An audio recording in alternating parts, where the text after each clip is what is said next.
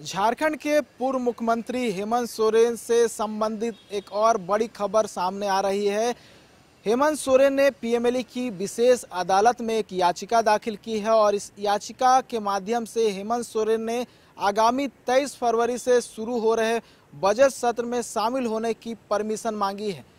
इसकी जो है सुनवाई कल होनी है, जिसमें दोनों ओर से पक्ष रखा जाएगा, जहाँ हेमंत सोरेन की ओर से उनके अधिवक्ता जो है, वो आधार रखने की कोशिश करेंगे। जिन आधार पर जो है, हेमंत सोरेन तेईस तारीख से शुरू हो रहे बजट सत्र में शामिल होने की जो है, आग्रह कर रहे हैं। वहीं अगर ईडी की बात करें तो ईडी भी जो अपने ओर से है, पक्ष रखेगी। इससे पहले भी जो है, हेमंत सोरेन विधानसभा के जो सत्र हुआ है, उसमें शामिल हो चुके हैं। आप, बता दूँ कि पाँच फरवरी को एक शक्ति परीक्षण किया गया था। उसमें हेमंत सोरेन को पीएमएलए की विशेष अदालत से परमिशन मिला था और एक घंटे की परमिशन पर वो विधानसभा पहुँचे थे और उन्होंने अपना मत का प्रयोग किया था और शक्ति परीक्षण में शामिल हुए थे। हालाँकि उस दौरान ईडी के जो अधिकारी थे, उनके साथ थे और ईडी की अधिकारी जो हैं,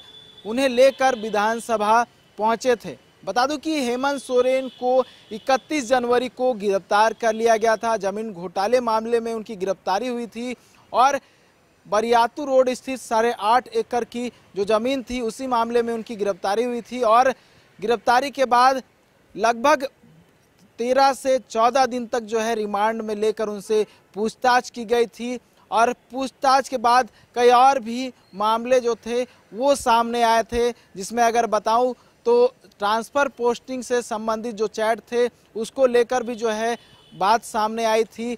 इस दौरान कई और लोगों को भी जो है समन भेजा गया था और समन भेजकर पूछताछ की गई थी और बड़गाई के जो पूर्व सीआई थे भानु प्रताप प्रसाद, उन्हें भी रिमांड पर लिया गया था और रिमांड पर लेकर हेमंत सोरेन के सामने बिठाया गया था और आमने सामने बिठाकर जो है पूरे मामले की पूछताछ की गई थी। उनके करीबी थे विनोद प्रसाद माफ़ कीजिएगा, विनोद सिंह, उन्हें भी बुलाया गया था, उनके प्रेस सलाहकार रहे, अभिषेक प्रसाद पिंटू, उन्हें भी जो है समन करके बुलाया गया था। कई और लोग थे जिन्हें कहीं ना कहीं उस दौरान समन करके बुलाया गया था और पूरे मामले में पूछताछ हुई थी।